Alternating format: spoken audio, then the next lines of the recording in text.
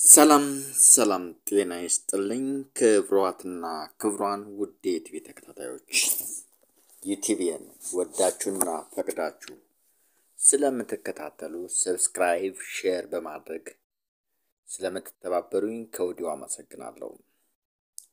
ይድረስ ለባለ ታሪኩ ከተስፋዬ መኮንን እጅግ አስደማሚ መጽሐፍ ነው። በተለይ ታሪክ እንደምትወዱ ባትወዱም እንኳ የሀገራችን አሁን ያለችበት ምስቅልቅል ያለ ማህበራዊ፣ ኢኮኖሚያዊ፣ ፖለቲካዊ ጉዳይ ከምን ተጀመረ?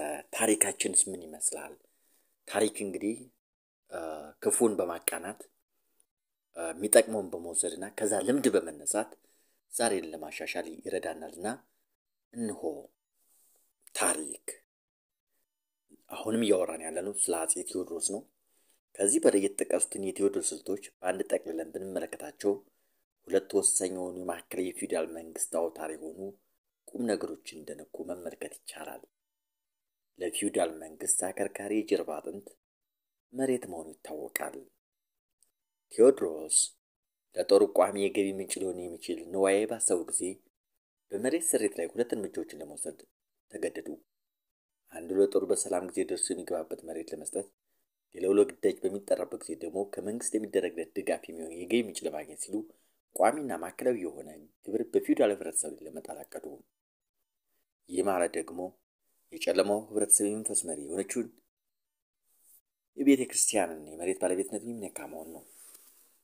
ቴዎድሮስ ሊዋጓት ከፈለጉት የመሳፍንት ግንባር ጎን በመንፈስ ህዝቡን አሸፍታ ልትዋጋቸው ቆርጣ ከቆመች ከቤተ ክርስቲያን ጋር ሊፋለሙ መሆን ነው።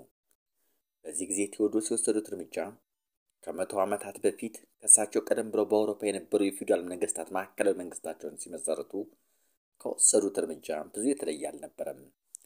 የተለየ የሚያደርገው ነገር ቢኖር በአውሮፓ የማዕከላዊ የፊውዳል ስርወ መንግስት አመሰራረት ታሪክ በአንድ የተያዘና በረዥም የታሪክ ወቅት የተከወነ የአንዱ ሀገር ተሞክሮ ለሌላው ሀገር ትምህርት የሰጠ መሆኑ ነበር።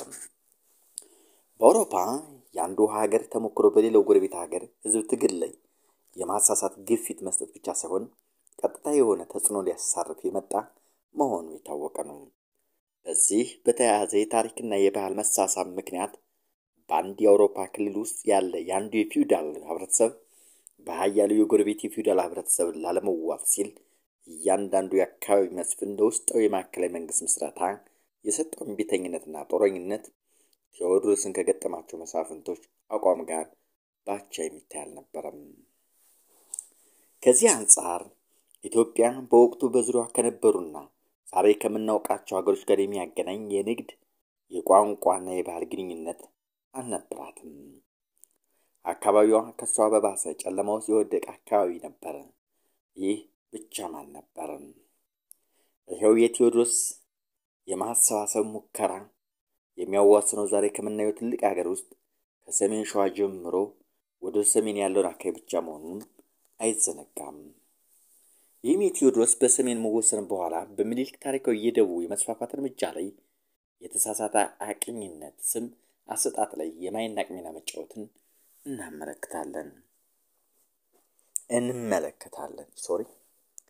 ይህን በመሀል አውሮፓ የኦስትሪያ የፊውዳል ስርወ መንግስትና የጀርመኑ የፐርሲያ የፊውዳል መንግስት አካባቢ ሌሎች የፊውዳል መንግስት ጋር ከነበራቸው በቋንቋ የመጋባት በሃይማኖት የመተሳሰር በባህልና በስነ ጥበብ የመጋጨት በስርወ መንግስት ጋብቻ የመተሳሰርና በጦርነት የመደባለቅን ረዥም ታሪክ እንደ ምሳሌ ወስደን ከእሳቸው አካባቢ ጋር ብናወዳደር ቴዎድሮስ በጨለማው ክፍለ አህጉር በጨለማው ኢትዮጵያ ውስጥ ካለምንም ቅድመ ታሪክ ተሞክሮ በአንድ ጠባብ አካባቢ ፊውዳል ማዕከላዊ ስርወ መንግስት ለመመስረት መነሳታቸውን እንመለከታለን።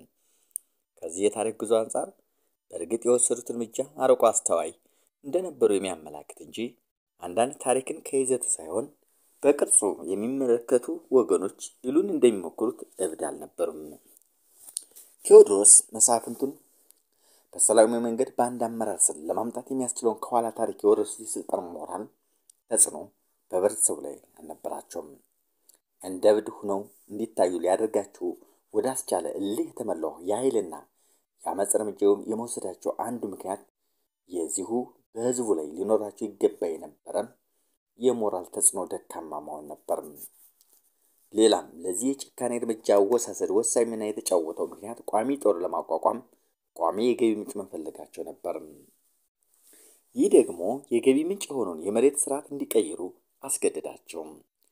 መሬትም የተያዘው በመሳፍንቱና በቤተ ክርስቲያን በመሆኑ በቴዎድሮስ ላይ በአንድ በኩል መሳፍንቱን በግንባር ሲያሰልፍባቸው፣ በሌላ በኩል አማጽያኑን አማንያኑን ሕዝብ በንጉሱ ላይ እንዲዘምት መንፈሳዊ ተጽዕኖ ማሳረፍ የምትችለውን ቤተ ክርስቲያንን በተቃራኒ ያስቆመባቸው። ከጥንት ጀምሮ ዘልቆ ከመጣው የሰው ልጅ ታሪክ ውስጥ ለእያንዳንዱ ወራሪ ኃይል የሞራል በትር በመሆን በማገልገል ብቻ ሳይሆን ለወራሪውም ትክክለኛ የአቀባ ቅዱሳን ስትሰጥ የመጣችና የመንፈስ መሪ የሆነችን ቤተ ክርስቲያን ቴዎድሮስ ከጎናቸው አጥቡም። የእሳቸው ትልቁ ሽንፈት ይህን የሞራል በትርና የመንፈስ መሪ ለመጨበጥ አለመቻል ነበር። የብደታቸውን የፕሮፓጋንዳ ታሪክ የተሰበከው በቤተ ክርስቲያን መሆኑም ያለ ምክንያት አልነበረም። የተመሰረተችበትና ተንሰራፍታ የያዘችውን መሬት ተሸንሽኖ ለቋሚ ጦር ቀለብ ማስገኛ ሊሆን ሆነ። እርምጃውም ህዝቡን ከተራ ባርነት ነጻ ወጥቶ ከፊውዳል መንግስት የጦር ማገዶነት አድኖ ማዕከላዊ ባለው የገባርና አስገባሪ ግንኙነት ሊተካው ሆነ። በጥቅሉ በፊውዳልና በጭሰኛ መካከል በተሳሰረ መሰረት ላይ የሚዋቀር ማዕከላዊ የፊውዳል መንግስት ለመመስረት በተነሱት ቴዎድሮስ እንደ ቅርጫ በተከፋፈሏት የአካባቢ ፊውዳል መሳፍንትና የመሬት ይዞታዋና ጥቅሟን ላለማስነካት በወሰነች ቤተ ክርስቲያን መሀል በሰላም የማይፈታ ቅራኔ ተከፈተም። በኋላ ላይ ቴዎድሮስ ይበልጥ የጨከኑት በቤተ ክርስቲያን ላይ መሆኑ ያሳየው ቁም ነገር ቢኖር የመንፈስ እምነታቸው ለኢትዮጵያ አንድ መሆን ከነበረባቸው ከነበራቸው ወሰን የሌለው ብሔርተኝነት ጋር መጋጨቱ ነበር።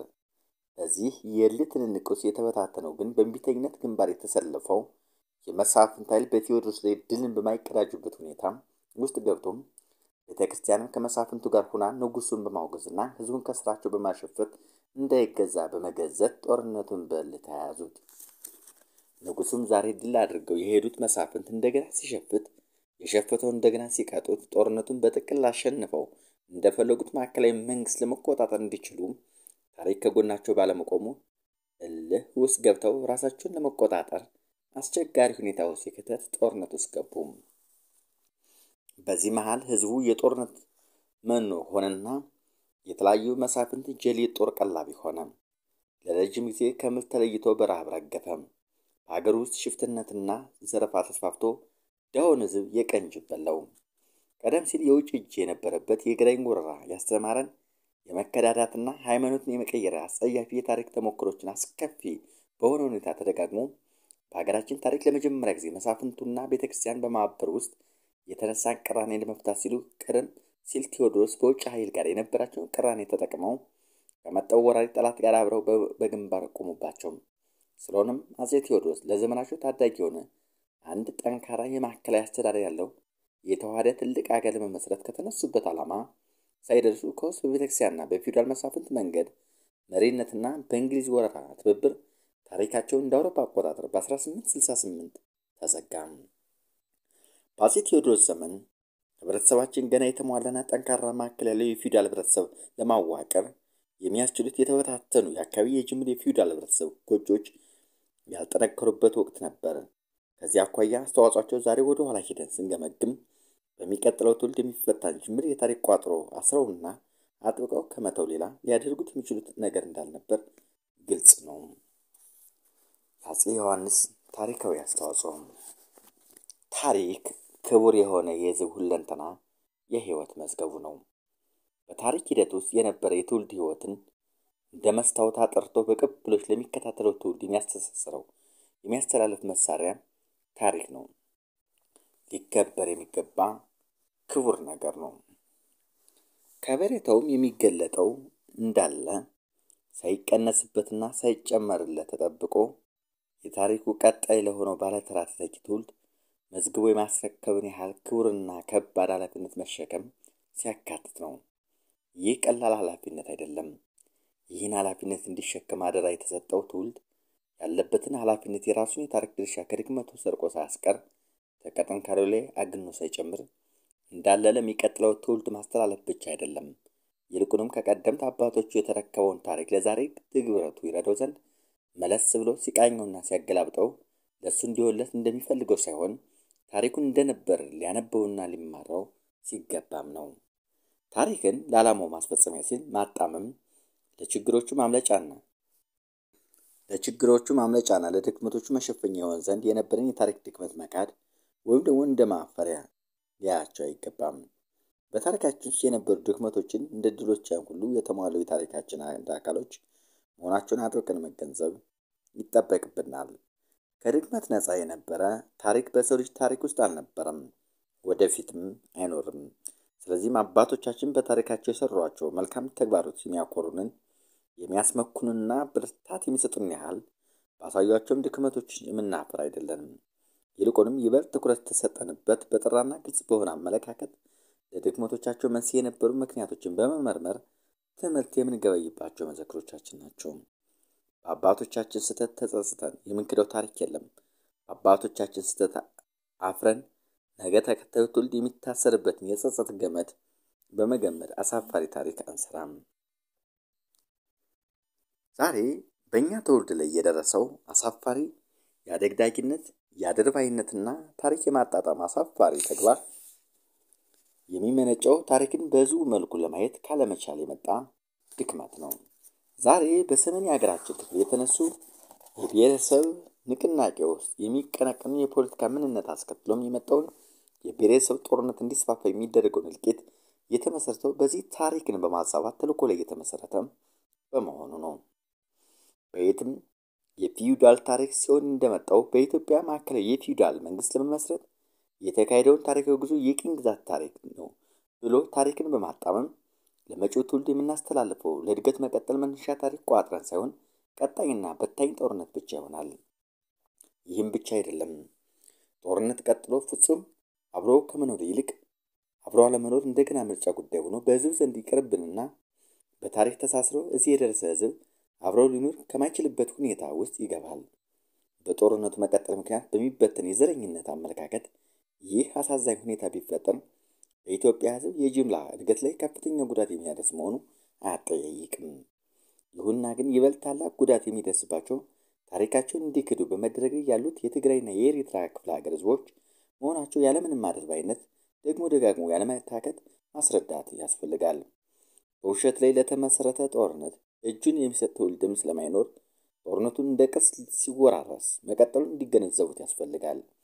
በሐሰት አንዱ ድል አድራጊ ሆኖ ሊኖር የሚችልበት ሁኔታም እንደማይኖር አስረግጦ ሊነገር ይገባል። ከቀይ ባህር እስከ ትግራይ ድረስ ለነበሩ ልዩ ልዩ ህዝቦች የታሪካቸውን መጠንሰሻ ከሆነችው ከአክሱም ዘመን ጀምሮ እስከ ማዕከላዊ መንግስት ምስረታ ጊዜ ድረስ በአካባቢው የነበሩ የተለያዩ ህዝቦች የተጫወቱትን ታሪካዊ ሚና በተለይም የትግራይን ህዝብ አኩሪ ታሪክ እንደ ማፈሪያ ወስዶ ለመካድ በመሞከር የሚገኝ ነገር ቢኖር ተመልሶ ማፈሪያ መሆን ነው። በቴዎድሮስ ተቋጥሮና በዮሐንስ ተጠብቆ በምኒልክ የተፈጸመውን የፊውዳል የማዕከላዊ መንግስት ምስረታ ታሪክን ያማረው የቅኝ ግዛት ወረራ ታሪክ ነው በማለት የዮሐንስ ታላቅ የታሪክ ሚና ከታሪክ መዘክር ውስጥ ለማውጣት መሞከር አሳፋሪ ብቻ ሳይሆን የሚያስገምትም ነው።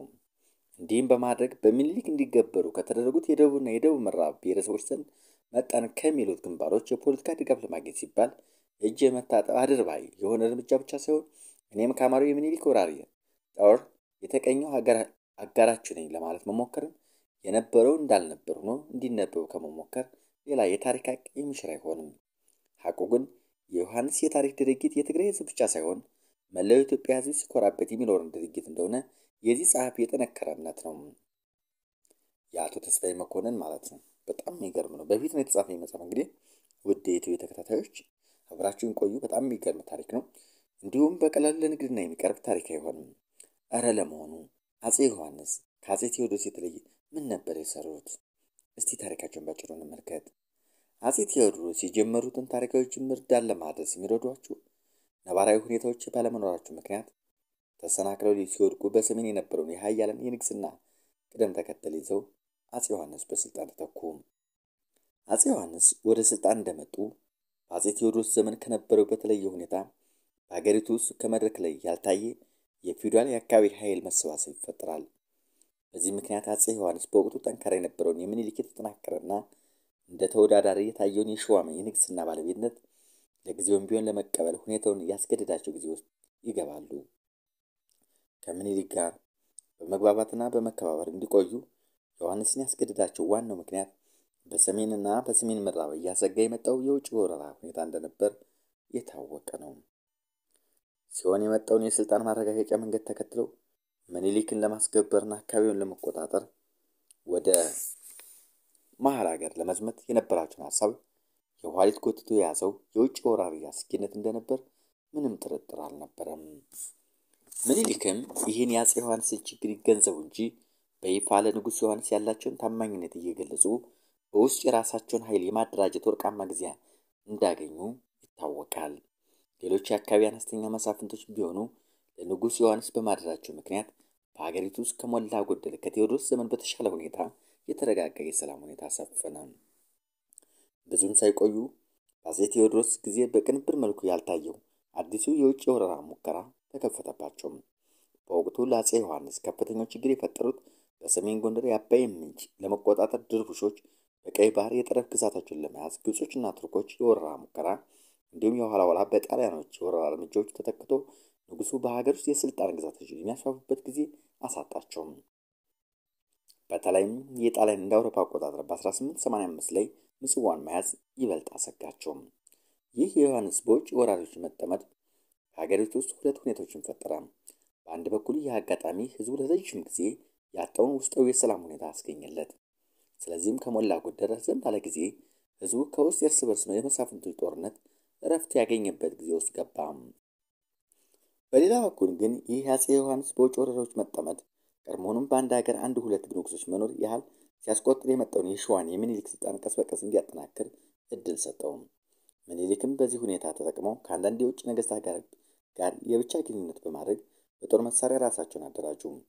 በሸዋ የአማራው ብሔረሰብ ክፍል ዙሪያ የነበሩት የአቢቹ፣ የፊኒኒ፣ የጉሌሌ ከግቤ ሰሜንና ከአዋሽ በመለስ ያለውን ግዛት በመላ አስገብረው ያዙ። ስለሆነም ገና አፄ ዮሐንስ አርፈው ንጉሥ ነገሥቱን ከመረከባቸው ቀደም ብሎ ምኒልክ በሰላም አየር ውስጥ ሆነው የስልጣን መሰረታቸውን የሆኑ የግዛት መስፋፋቱን ተግባር ተያይዘውት እንደነበር እንረዳለን። ስለዚህም የምኒልክ የደቡብ የምዕራብ የምስራቅ መስፋፋት የጀመረው በአፄ ዮሐንስ ዘመን እንደነበር ስንገነዘብ ድርጊቱም በንጉሱ በአፄ ዮሐንስ ዘንድ እውቅና እንደነበር ይታወቃል። እጃቸውን የውጭ ኃይል ባይዝባቸው ኑሮ ዮሐንስ ምኒልክን ቢሆን በሰላም ባይሆን በኃይል አስገብረው በእሳቸው መመሪያ ስር የሚታዘዙ ፊት በማድረግ ዘመቻቸውን የሚቀጥሉበት እንደሚቀጥሉበት ያደርጉ እንደነበርም መጠራጠር አይቻልም። ያም ሆኖ ምኒልክ ይህን የደቡብ የመስፋፋት እርምጃ በወሰዱ ጊዜ የአፄ ዮሐንስን ንጉሠ ነገሥት ተቀብለው እንደሆነ የታወቀ ነው። ያ ወቅት አፄ ዮሐንስ የታሪክ ኃላፊነት መሸከም የቻሉት ታላቁ መሪ አድርጎ ያሳየበት ቁም ነገር ቢኖር ከውስጥ የስልጣን መጠናከርና የግዛት መስፋፋት ይልቅ የውጭን ወረራ ጦር የመመለሱን ተግባር የቅድሚያ ቅድሚያ የሚሰጠው ወሳኝ ተግባር አድርገው መውሰዳቸው ነበር። ይህ መሰረታዊ የሆነ በእሳቸው የተወሰደ የሀገር የመከላከል ተግባር በኋላ ምኒልክ ለወሰዱት ማዕከላዊ የመንግስት ምስረታ እንደ ዋና የመቆሚያ መስፈርት አገለገላቸው። ምኒልክ ምኒልክንም በበሳል የፖለቲካ ጥበበኛ መሪ መሆናቸውን ለመጀመሪያ ጊዜ ታሪክ ያሳየበት ጊዜ ቢኖር በዚህ ወቅት ከአፄ ዮሐንስ ጋር የተጫወቱት ሰላማዊ የመቻቻል የፖለቲካ ጥበብ ነበር። አፄ ዮሐንስ ሲጠራጠሩ የነበረውን የምኒልክ ታማኝነት ለማረጋገጥ ኃይላቸውን ሰብስበው መጥተው እንዳይወጓቸው ምኒልክ የዮሐንስን የበላይነት አውቃለሁ ብለዋል። ከውጭ ጋር የሚደረገውን ግንኙነት ድሮውም ማዕከላዊነት ያልነበረው ከመሆኑም በላይ ዮሐንስ የሚኒልክን የሸዋ ስልጣን ሳይወዱ በአስገዳጅነት በመቀበላቸው የሚኒልክን የውጭ ግንኙነት በይፋ አልተቃወሙትም።